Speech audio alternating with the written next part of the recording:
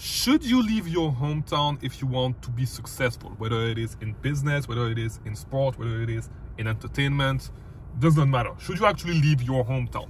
This is something that we've heard a lot of talk about and is something that i did myself.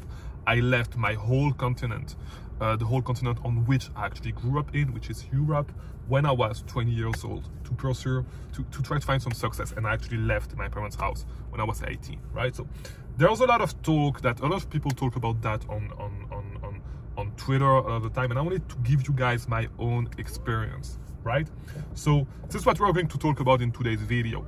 If you do not know me my name is chris mangunza. I release daily videos about things on amazon and about entrepreneurship in general sharing my own journey with you guys every single day right there on this youtube channel. So if you're new subscribe and like this video so you get recommended more videos. All right? So as i said I left my hometown when I was actually 18 and you could say that I left it before that when I was playing basketball to pursue, to, to pursue some higher level of success actually when I was 16 but I left my parents house like 100% when I was 18 to study right but after that as I said I left Belgium where I grew up in and where I am right now actually I'm visiting uh, family I left Belgium when I was 20 to go to the US to pursue school and entrepreneurship, right?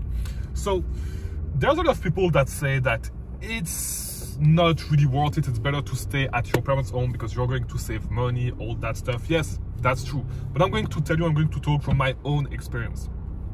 I know that if I did not move to the US when I was 20, and I'm going to tell you, it was not easy at all to be like far away from family, to be by yourself, you know, uh, and having to deal with everything that life is going to throw at you by yourself.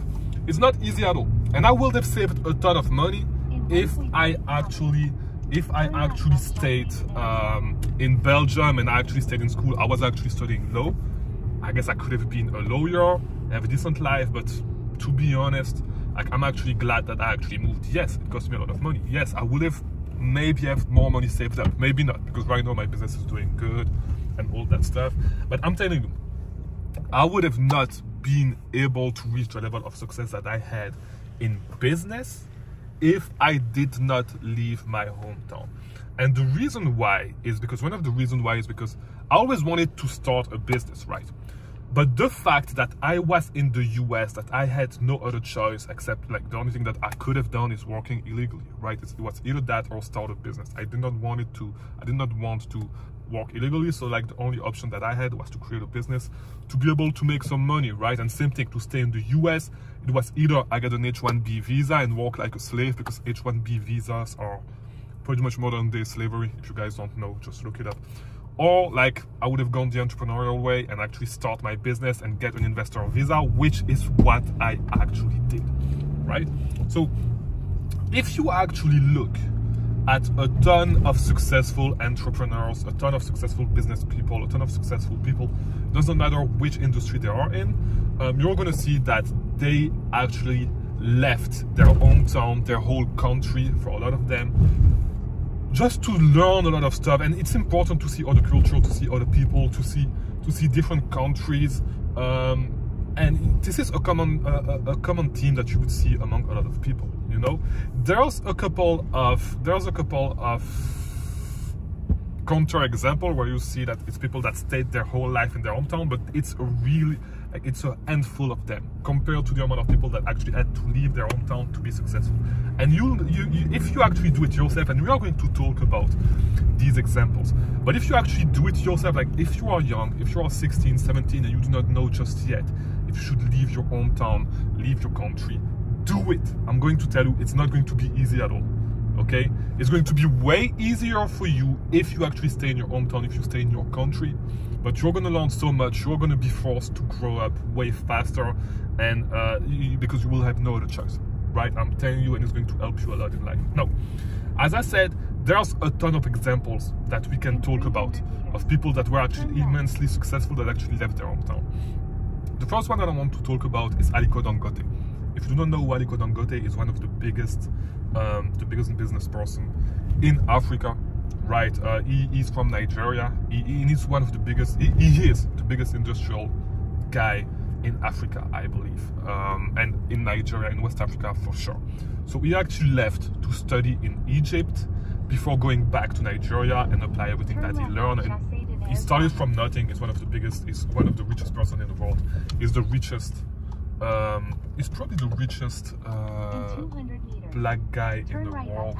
Not sure, but he's, he's the richest guy. I believe he's the richest guy in Africa if you actually do not count um, politicians and all that stuff that gets a lot of money and we all know how they do this right but um, there's a lot of people even if we if we think about um, Socrates if we think about uh, Pythagor Pythagoras I'm not sure you say his name in English but they went in Egypt as well to study okay in antiquity because it was the center of knowledge back in those days and you could argue that today you know with the internet and all that stuff you do not necessarily need to leave but living and being by yourself, like having to deal with life by yourself is going to teach you a lot of stuff that you cannot learn any other way. And there's a lot of stuff that you cannot get, that you cannot be taught, right? That the only way you would actually be able to learn is by experience and facing all these difficulties by yourself without your mom, without your dad, without your brothers, without your sisters, without your extended family, without your friends around you is going to teach you a lot of stuff and it's going to teach you how to actually get things done by yourself and how to actually resolve problem because there will be nobody to actually help you and I'm going to tell you this is going to teach you a lot. As I said, there's a couple of counter examples. We can think about a few people that actually stayed in their hometown and that reached a huge success. And I, I guess the biggest one is actually Warren Buffett, who stayed in Nebraska his whole life. Uh, and who's still in Nebraska, so uh, still living in Nebraska today, where he sells his company and all that stuff. But to be honest, like if you are a young guy, and I'm going to say it again, if you are young, you are 16, 17, you are 15, I'm telling you, if you want to be successful, leave your hometown. Leave your hometown.